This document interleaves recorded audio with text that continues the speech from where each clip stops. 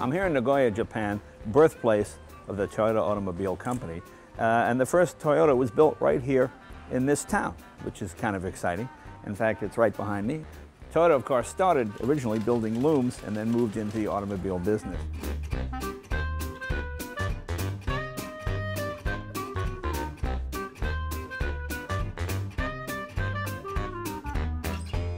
What a thrill this is to drive Toyota's very first car, the 1936 AA.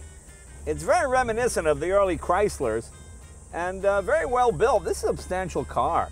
You know, it's a six-cylinder engine. It's 3.4 liters, about 65 horsepower. This car is so rare, none are thought to exist. Toyota built this one in 1989. And since it was built by, by Toyota, I guess it's authentic. It just wasn't built in 1936. Rumor has it there's one in Russia somewhere and maybe parts of another one somewhere else. So uh, if you find one of these, hang on to it. It's a rare piece. I love the styling, little Art Deco uh, touches on it. Look at that hood ornament. That's sort of uh, part of Toyota right there, Toyota symbol.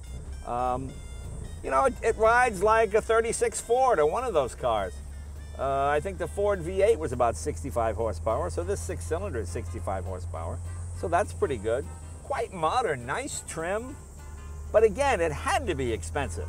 Unless you are a member of the imperial royal family, I don't know who could have afforded something like this. Maybe an industrialist. Uh, these are essentially hand-built automobiles. They were built on a wooden buck. Uh, even, even American cars did not have a full pressed steel roof. One or two might have, but most didn't because we didn't have a press big enough at the time. So there would be wooden slats across here with kind of a fabric covering or a leatherette type covering. But this has a full steel roof because it was hand hammered over a body buck. You know, you got the fake wood grain dashboard, nice wood grain around here. Nice car. This would have been a wealthy person's automobile back in the day. And it drives quite nicely.